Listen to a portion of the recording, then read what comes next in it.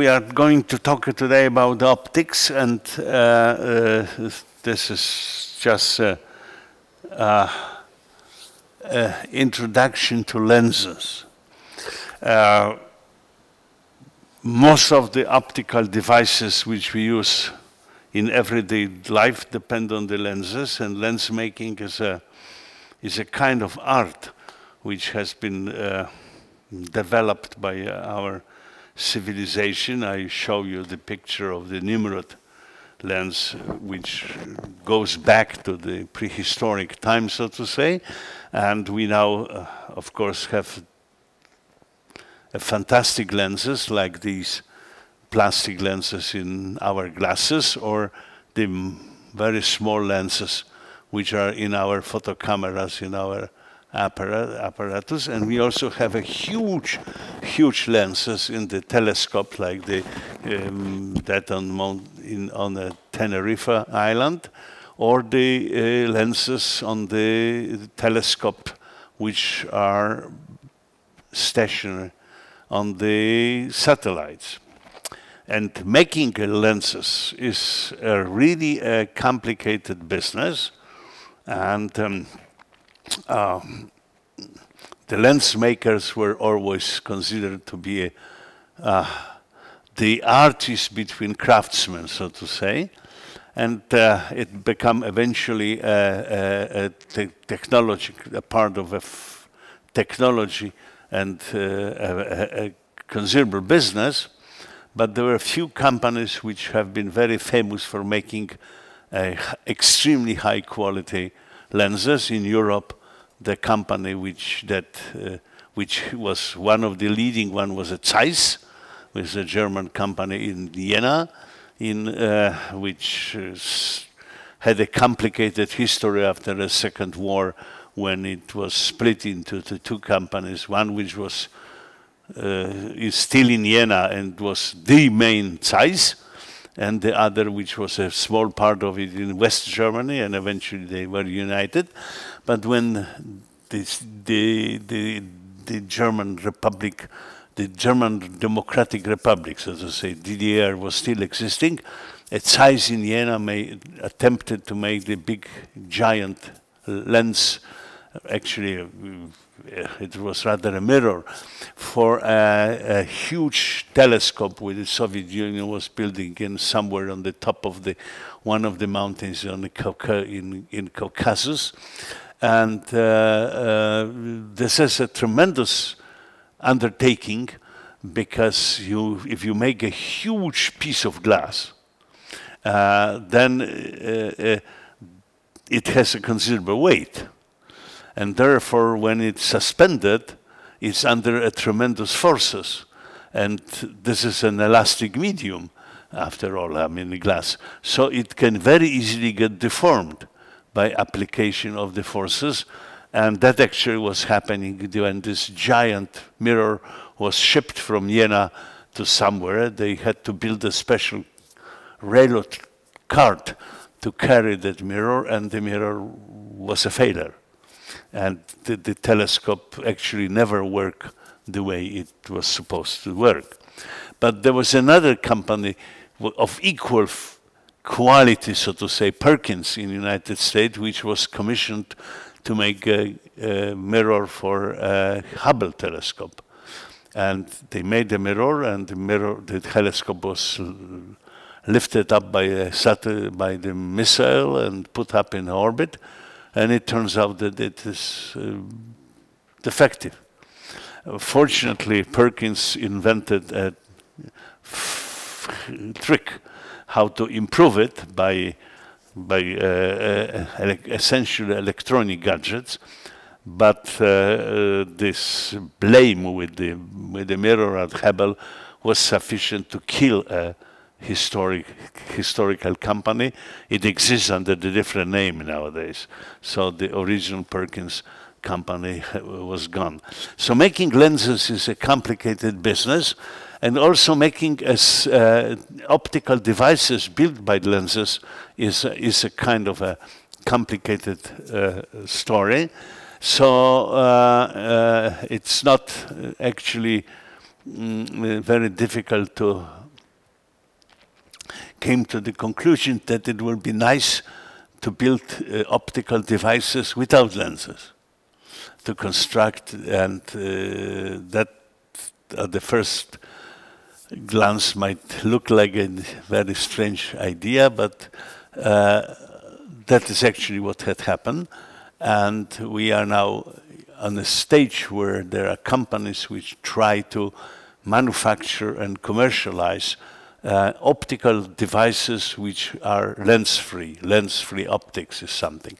So what I would like to uh, do over uh, probably these two today and next week is to tell you first about uh, uh, mathematics of lenses.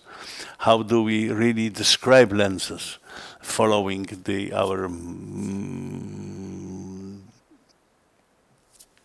mathematics which is available to us nowadays. And uh, then we will chat a little bit about this uh, very lens, uh, this lens-free uh, optics, uh, and uh, which is interesting in itself. Um, the mathematics of lenses is complicated, and therefore most of my talk will be restricted to a very unphysical models of lenses, which are called the thin lenses, and you will see in a moment what I meant by that.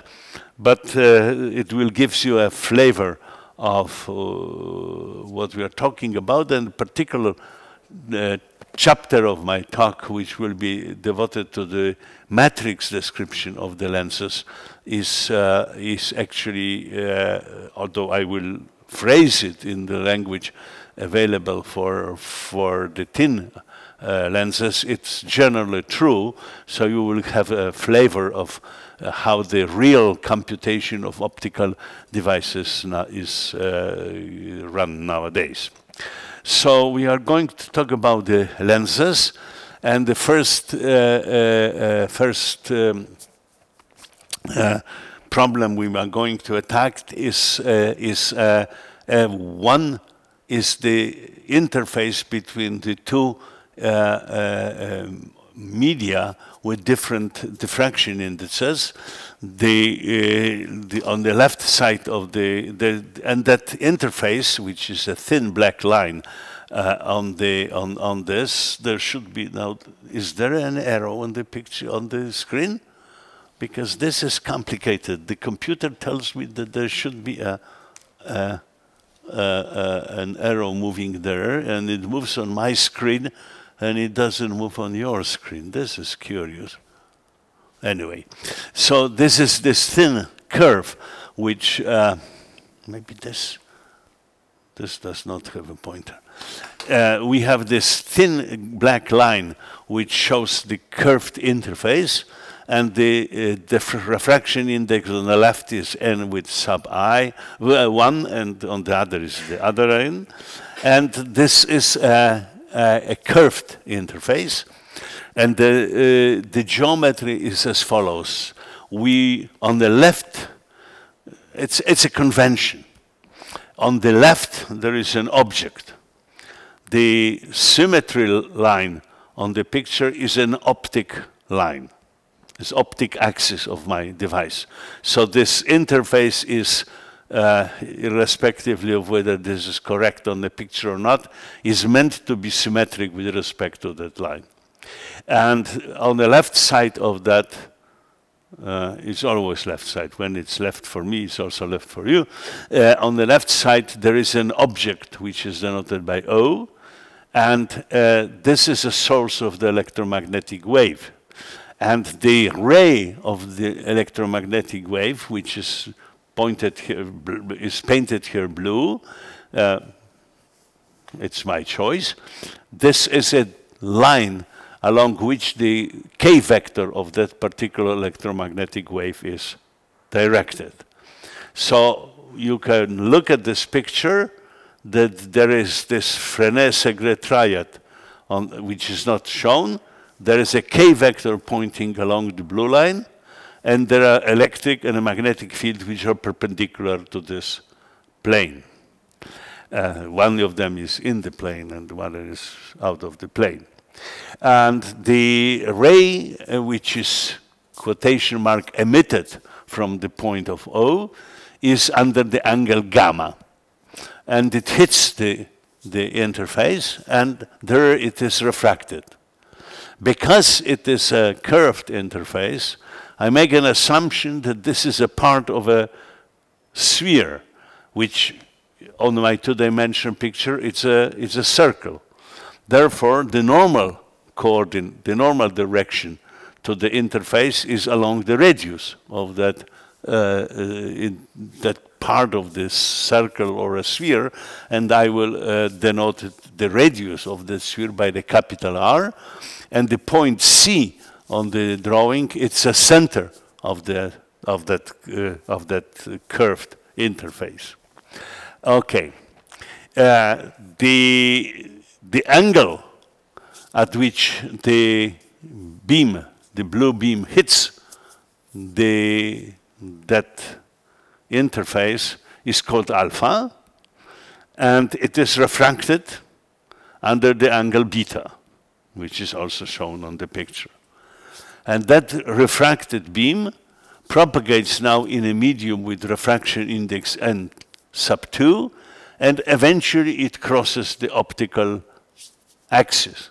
And the point where it crosses the optical axis, I denote by capital I, and that I will call image.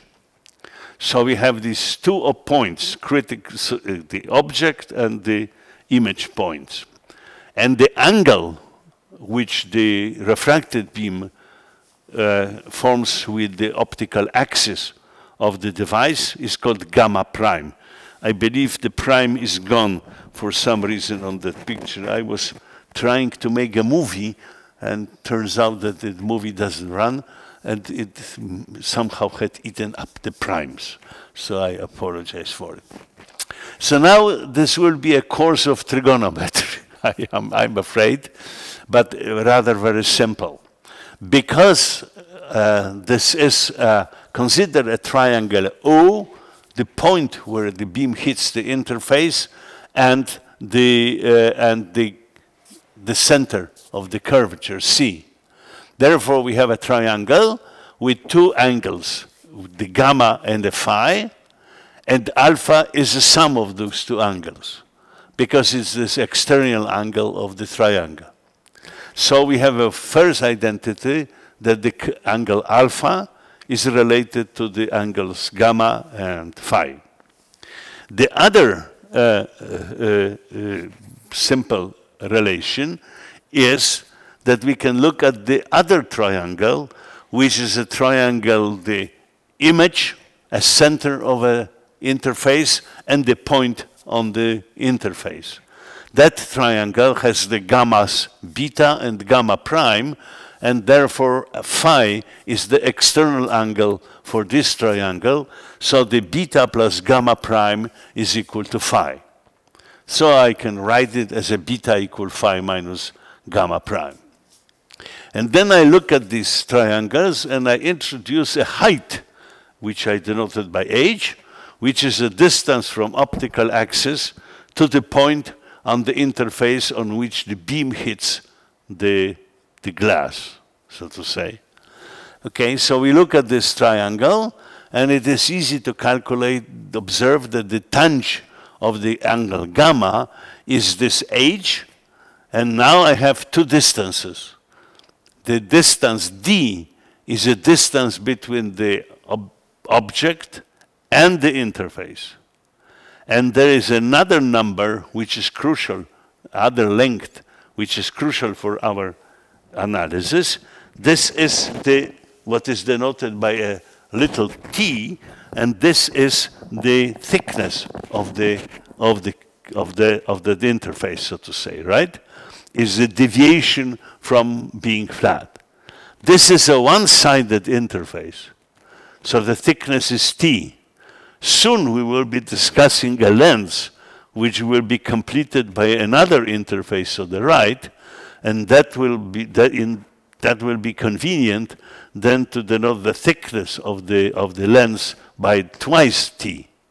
And that is the reason why in some formulas all of a sudden a factor 2 will appear. So anyway, the triangle uh, with where there is angle gamma allow me to write that the tangent of gamma is a height divided by the sum of a d and t.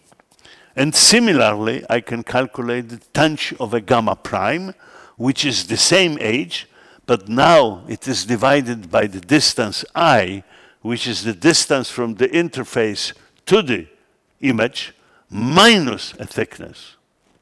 So if I have these two trigonometric relation, then in addition, I can calculate the sine of an angle phi, which is a simply height divided by the radius of a curvature. So that is just a simple observation from a triangles on this on our screen. And then I and now comes the approximation. Approximation that this is a tiny curved interface.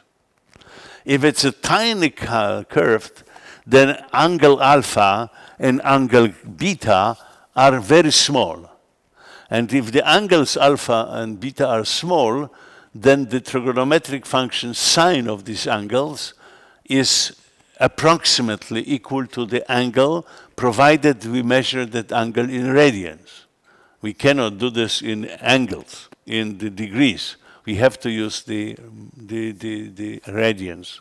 So if we do this, then I can calculate the sine of alpha, and since alpha is, then the sine of alpha is simply equal to alpha, approximately, but this is, this is my assumed approximation, as Landau used to say, physics is a science of approximation. So we approximate the sine of alpha by this. And then because alpha is equal gamma plus phi, then using this, the, um, and a tangent is also, a tangent is a sine over cosine. So for small angles, the cosine is just one, and the sine is angle, so tangent is also equal to, to, to the angle. So I get the expression that the sine of alpha or the angle alpha is the height divided by the distance of d plus a height divided by the radius. And uh, very similar relation I can derive for the angle beta, which is height divided by the radius of the interface minus height divided by the distance of the object from the from the interface. So that is a trigonometry. There was no physics so far, okay? That is just analysis of this kind of a funny drawing which I have made. But now the physics comes, and of course the most the, the only physical part of this is the Snellius law. The Snellius law, which relates the angle alpha and beta, saying that the sine of them is a ratio of the, of the refraction indices. So I can then use this expression to substitute our geometric relations, and we got an equation which is on the board. And of course, now the height cancels, as expected. This was arbitrary point on the interface, so the height cancel, and what remains is the geometric identity relating lengths only, a distance of an object from the interface, d, the is the distance of the uh, image from the interface i, and the radius of the curvature for the interface, and two physical quantities, the indices of the refraction. And that equation which is derived here, as you, as you see, this very simple. And I should stress that there is just similar expression for arbitrary curved interface, but it will take much longer uh, operations with the trigonometric functions. And uh, we, we, the physical essence, the silent features of the what is happening is already here. This is a Gauss equation for a single refraction interface. And that is a crucial equation for our further analysis. All right, so now we, uh, it somehow got back. Oops. All right. And now this is the same picture, and we have our Gauss equation which is written on it. And now let's see what is happening when I take my object and I move it to the left. Uh, so I position my objects farther and farther and farther and farther and farther from the, from the, from the refraction interface. So eventually, when they are very, very, very far, then they look like they come parallel to the optical axis. I'm also making an assumption that because my the interface is very thin, then I'm considering only those rays which are close to the, to the optical axis, and they are called para, para, the, the this is a para-axial approximation. We use only very narrow region of beams close to the optical action. So if I move d to infinity, then the first term in the, on the left-hand side of the Gauss relation drops out. And uh, what is happening is now that something curious is happening on the right-hand side. If I move the object to infinity, that this equation tells me that all the beams which are coming, they cross the optical line on the other side of the interface in a one particular point. And then one particular point is at the distance from the interface, which is called the focal distance, and is conventionally denoted by a letter F, focus, for focus. So we uh, get the, out of the Gauss analysis equation, we got the definition what is focus. Okay. And then I can solve my Gauss equation and I can relate the focus on the right-hand side, which will, uh, as the refraction index times the radius of a curvature divided by the jump, as they used to say, a difference of the refraction indices on both sides. This is denoted usually as a square bracket of n. This is the n the difference between them. It's just a notation. This is a notation from the other part of physics, but mm, it's used here. So this right focal length on the right-hand side of the interface is f2, and of course, similarly, I can define it on the on the left-hand side of the mirror. So I can, using this focal distance, I can now rewrite the Gauss equation in the form which is written in this purple box. All right? Good. And I also can derive the identity. This is the identity which is at the bottom of the screen, which says that the ratio of the focal length to the index of refraction is constant. And that is the identity which holds for all the lenses. I have derived it for a very simple model, model but they are very general. All right. So that is the analysis of a one interface.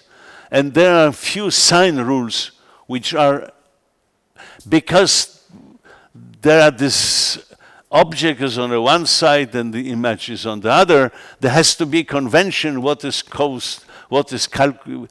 I mean, we can put the object on the concave side of the, of, the, of the interface. Then the sign have to be different from this length. So there is a certain accepted convention that if the, the real object distance is always positive. If the distance is outside, then it's always positive. And image distance for real images is positive, and for virtual images, those which are created when the, when the object is within the denser medium, then it's negative. And the focal length is positive for converging lenses and negative for divergent lenses. So these are conventions, and uh, unfortunately, each time you study some lenses, you have to be very careful whether the authors follow those, uh, those uh, conventions. That, but uh, we are not in the business of making optical devices, so we can just have to remember that. So now I'm going to talk about the spherical lens. And the spherical lens is just two of our interfaces. And again, I will be talking about the, about the very, uh, about the thin lens, which means that uh, uh, the, the, the, the older rays are paraxial and the, uh, the, therefore the sign of the angle theta which I heard denoted as a theta for in order not in order to slightly confuse you, uh, then uh, the, the sign of that is uh, small. So now we have more complicated geometrical situation. Uh, we can calculate these angles and uh, repeating basically the same arguments with the tanh functions, we can find the one of the identities here. And since the tangent of the, of the, of the, of the angle is the angle, then we get the relation between the theta i, which is this angle on the uh, on the on the left uh, of, uh, is on the on the image side is r by divided by r plus r plus d0, where d0 is the distance to the to the object, and I can, uh, uh, for outgoing angles, I can apply the same analysis and get another relation. So just adding these angles, this is exactly the same calculation but done for two curved interfaces. I got the following relation. And again, now I use my Snell law, and if I lose the Snell law, I make a, a simple assumption that this is a lens in the air. If the lens is in the air, then one of these refraction indices N1 of the outside uh, medium, so to say, is, uh, is just equal to one. It saves me this square bracket. And then uh, I, if I make this assumption, substituted our idea, we derive the equation for the lens, which says that the index of refraction over 2r, and this uh, uh, is, of course, 1 over focal length. So this means we finally arrive on the equation which you might remember from the high school. That is that 1 over focus is this. This equation is awful. It's 1 over something, right? But if you multiply them and rewrite it, then you get something which is also easy to remember. For some reasons, people prefer that form. So here it is, that one of the focal length is equal to some. Okay. And that is, of course, a complicated uh, story. Now we have this equation. And imagine you have now a device which consists of many optical lenses you have to do something and for some reason it's not sufficient to use one magnifying glass. You want to build a real telescope. So you want to, for some reason, have. So you will, everything is soluble by this kind of analysis, but it's going to be messy. And people were doing it for years and years and years, and I believe some optics people are on one of the references which you will, I will show you in a moment, you will, uh, you will see the calculation which I will do here without any difficulties. They are doing it with the trigonometry, but uh, well, I think one should be a little bit lazy and do the, as little calculations as is necessary to get the final results. So we will now learn about the metric description of the optical devices, and this is called the ray matrices. So uh, imagine I want to build up a device which, so it has an optical axis, and there are many different optical elements which are put up together, which are shown here by funny drawings.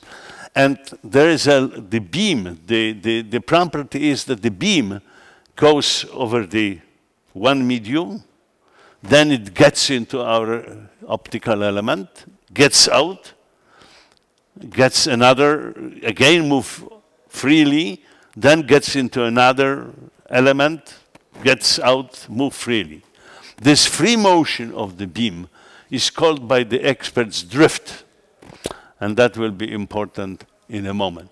So anyway, this is our system, and um, we use this focal length and something. But what is actually important in our analysis so far? The analysis was the distance and the angle on which beam was going, okay? So what are these two things? The distance is how far from the, what I need to draw the picture. I need to know where the object was located with respect to the optical axis. So I need the distance from the optical axis, and I need the angle at which the beam is propagating. And that, of course, is a derivative of the beam.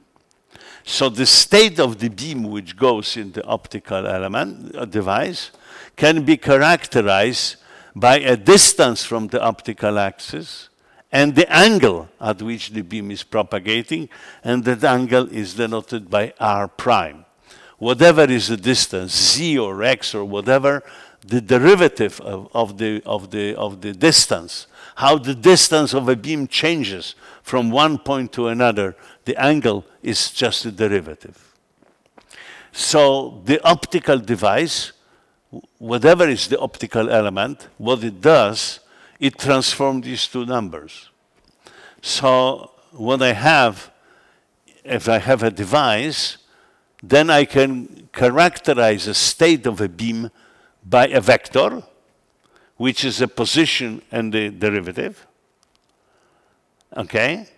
And I have the incoming position and derivative.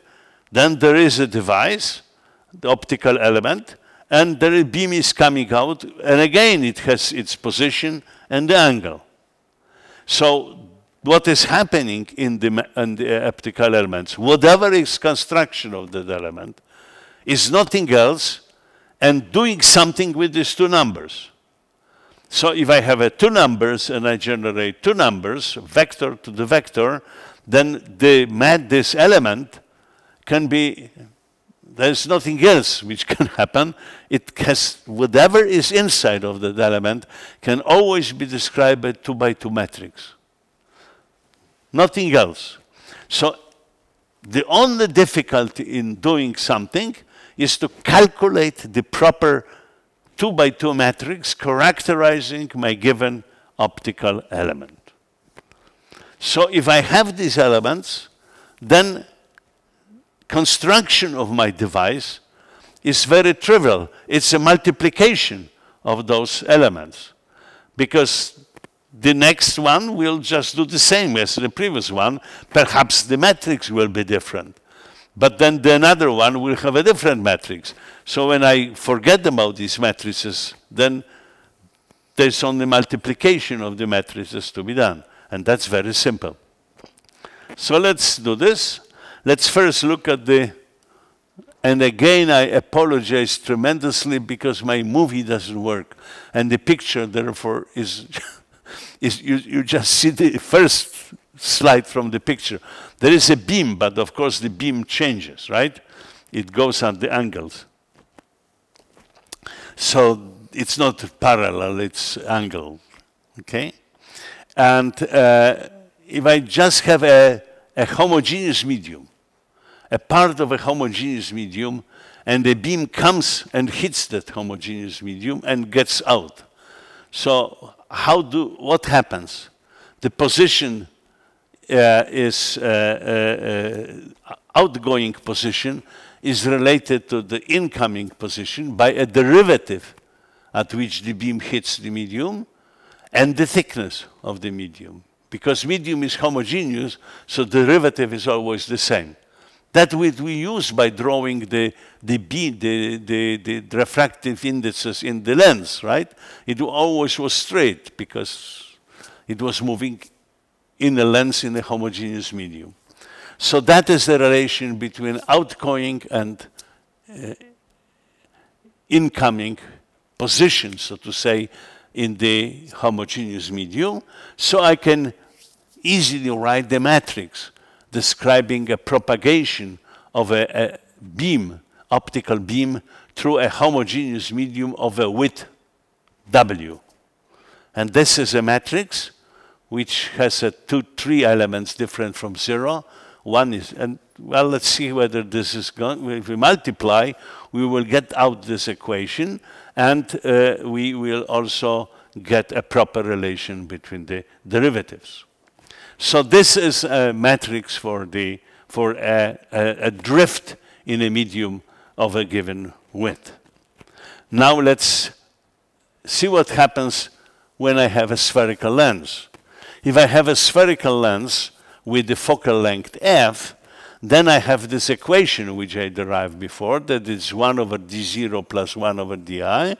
Then I approximate this by the radius of the of the of the of the of the of the curvature of the lens and the angles again it's a paraxial approximation so i can replace sine by just the angle and then the angle is a derivative so i have the relation between the focal length and the derivatives i can do a little bit of algebra and that's what i obtain that the derivative of outgoing, outgoing derivative is the incoming derivative minus 1 over focal length divided by the incoming position.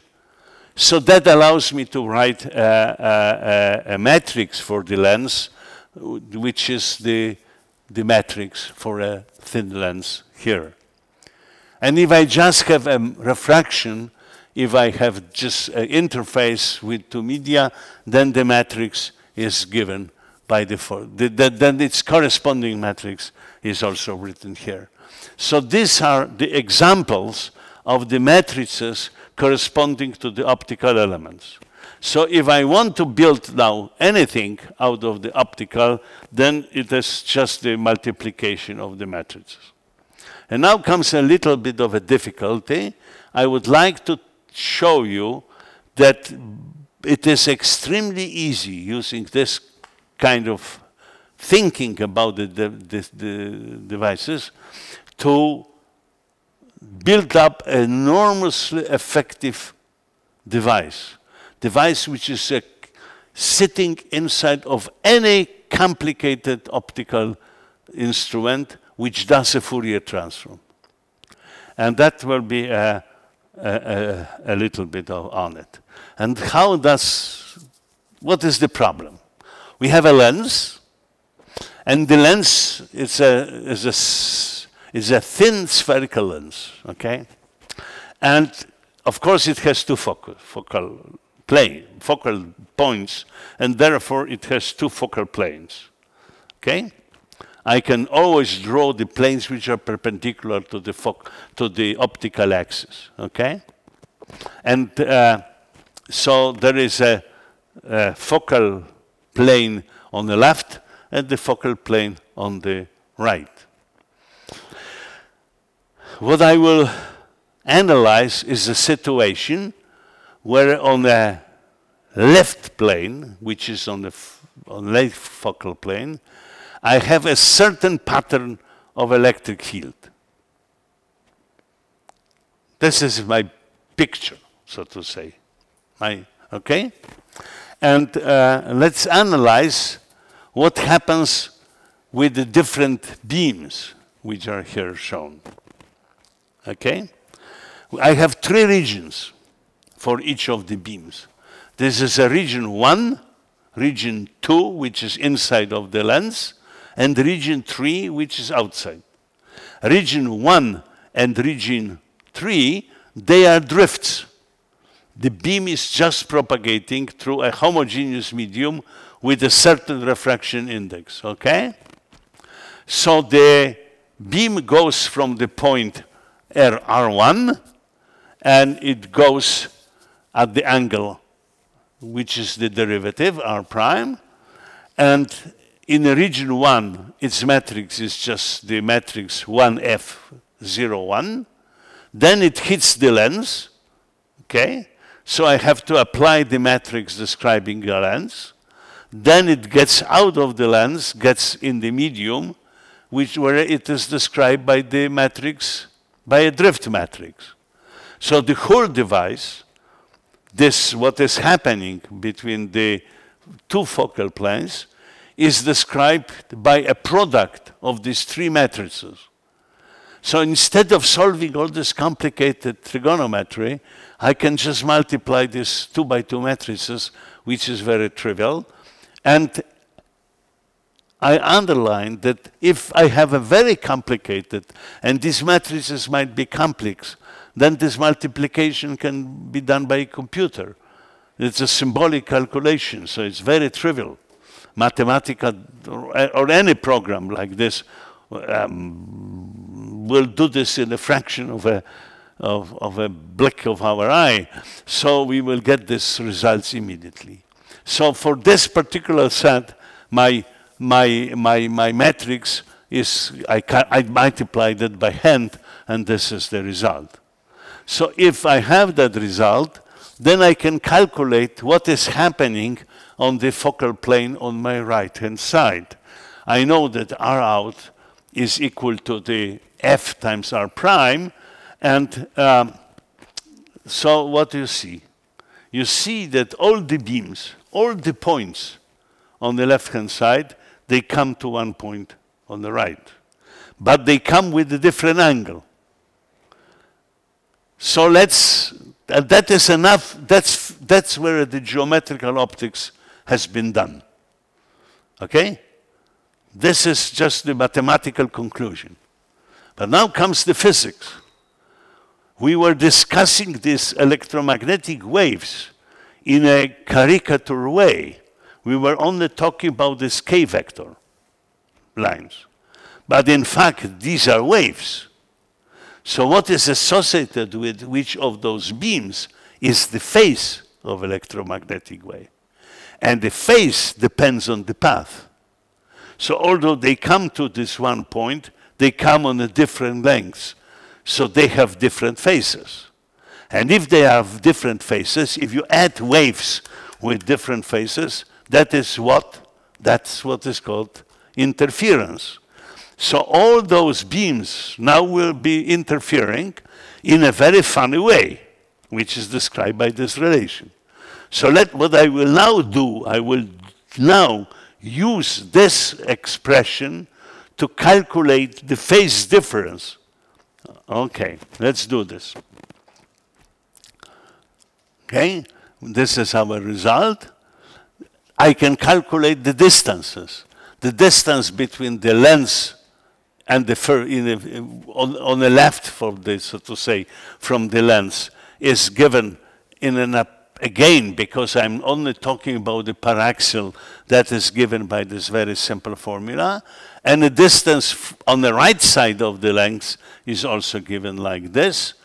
So the only thing which is left to remember is that the, uh, that the thickness of the lens on the optical axis is twice t, which I do not the t0, and the thickness at a certain distance from the, from the axis, which is of the importance.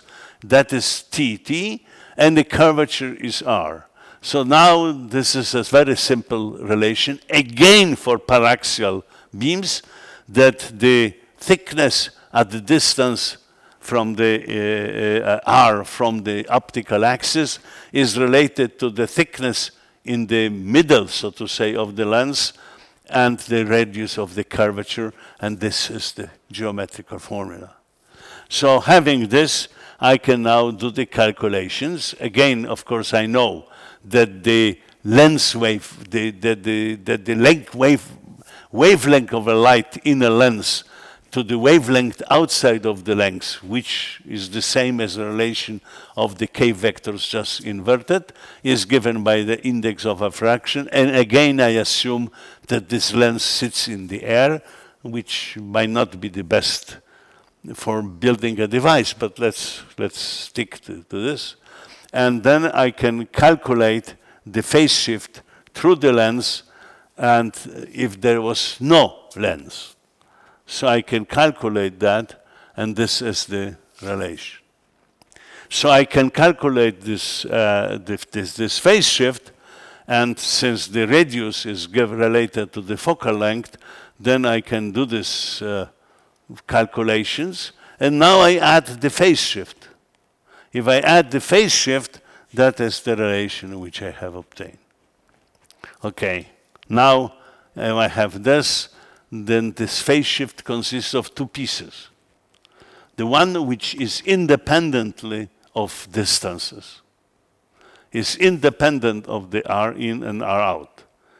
It consists of the, what, it depends on the wavelength of the radiation used. This is vector K. Depends on the focal length of the lens, on the focal end, depends on, the, on, the, on its thickness. So this first part is, uh, I would say, a general. It doesn't change when I move my, when I do something with my beam. Okay? So now I have this phase difference, and I have a certain distribution of electric field on the focal plane, which was on the left. So how do I calculate the distribution of electric field on the right? I take this electric field, each beam which emerged from each point, I multiply by the phase factor, and I had to integrate over that plane. I do it in one dimension. I assume it's a one dimension. The, I mean, I can, make it complicated for two dimensions, but the simple ways in, spheric, in cylindrical coordinates, but that is, again, I'm not teaching you how to build up a real devices on the, how it, what is the what is the silent feature of it, and that is a formula which I obtain. That means that the out what I see on the other side of my mirror of my of my lens is uh, the phase factor, which is universal, and then there is a funny integral. And that integral, this is a lens phase factor, and this integral is a Fourier transform of an electric field. The Fourier transform is a mathematical operation uh, which uh, is very convenient it, it's a linear operation. I believe I don't have this slide on it. But uh, the, uh, uh, this, this, if you want to see the real calculation for real situations, then you look up at this at these references. And this is a picture which shows you what is, what, what is the use of it. The, the Fourier transform allows me to pick up a pieces of a signal. If I think of a picture as being a signal, which depends on the position, right? Then the Fourier transform gets an elementary piece of it and puts together, and since I have these elementary pieces, I can manipulate them. Okay? If I have that lens, and uh, by using different lens, different focal lenses, I can, and moving these focal planes, then I can pick up a different Fourier components of my, of my picture. And that allows me, for example, to remove a certain wavelength from the spectrum of the picture. And that is what is done here. This is the uh, uh, uh a, a picture taken by an object, and then it's a Fourier transform, optical Fourier transform, which removes a very short wavelength from the picture. So we get this little point, okay? Now, you send somewhere, you want to send that picture somewhere. You don't need to send this whole picture. You need to send only this little point and the information, which wavelength you have removed. And you, on the on receiver side, so to say, you have a device which does the inverse. Okay? So saves you enormously in moving the film. And the Fourier transform is extremely important if you want to send a complicated pictures and uh, sending a pictures is very, if you send a picture from your phone, you, you, you make a picture and then you want to send it via the cell system to somebody else, then usually it asks you what size of the picture you want to send. Okay? That size is how many components of a proper analysis is used. Okay?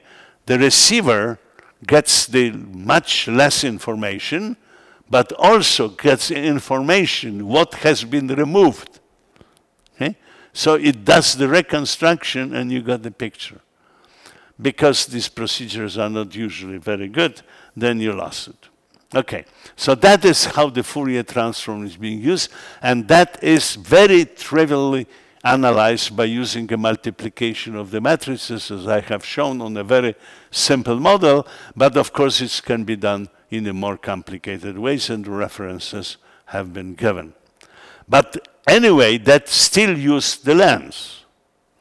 And in a, this is a picture in, uh, in 2013 as a, almost the one breath of the Bell Labs the Bell Labs announced that, it made, that they have made the camera which doesn't have lenses. And this is a very recent paper from last year by a bunch of people calling lens less imaging with compressive ultra-fast sensing.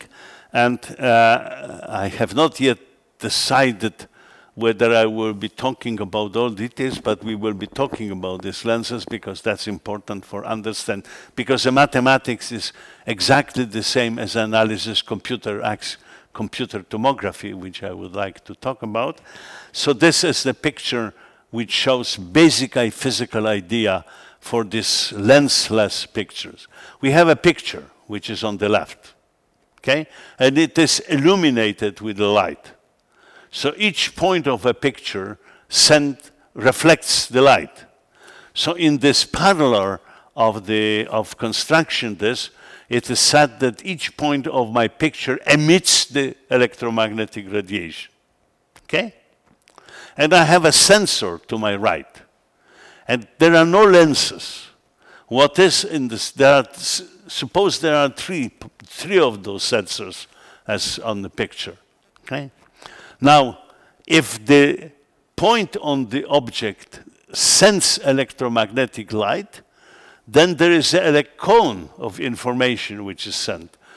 The, pic the picture is, has to be understood using a special theory of relativity. Now the beam comes out from that point and it takes different time before it hits the different, different uh, uh point, points on the receiver, right? It takes a different time. So if I record that different time, then I learn something about this point. And if I record that different time for different points on my picture, then I get sufficient amount of information to reconstruct the picture. So this is a basic basic idea of the lensless photography. I have to have enormously fast quotation chip, which is, an, uh, is so fast that it can resolve the arrival of the signals from, from the same emitter at different positions. Okay? And I get a mess of the information, and I don't need any hardware the accuracy is limited by the region of, the, of my sensors. So it's the aperture which decides. But making an aperture is much easier than making a lenses. So you get the device which collects the information, and then it's a mathematics, it's a computer which constructs the picture. The fantastic side of this is that if you collect it from three-dimensional objects, if you use the third dimension, then you get even more messy picture. But what is hidden in, that, in this mass of the information collected that way is not only the picture by itself, but also the focal depth. So you don't need to set a focal depth. You don't need to move the lenses like in a camera. You need to move the focus, right? Yeah, it's already there. So you can pick up from one, so to say, picture, from one set of data, you can pick up a pictures with different, what is in front, what is in the back, and something. That is a very messy calculation. It requires a huge computer power. And the most important part of this calculation is if you want to recover the depth. So what the people do, they do this via the lenses. They use the, they use the lens, so to say, on the other side of the camera. The camera doesn't look at you via the lenses. There is no lens between you, but there is a lens, so to say, in a back, which tries to the, uh, pick up from the mass of this uh, pixels, points on this, on, the, on this data sheet to pick up the picture. So we will be talking next time about the introductory to the lensless photography, which is actually already there in the analysis of the lens. It is remarkable that you can derive the basic mathematics for the lensless photography, and that of course means also for the computer tomography, by just looking again on the equations which we already wrote and just realizing one silent feature of those pictures which we all see but we didn't recognize them before. Thank you for today.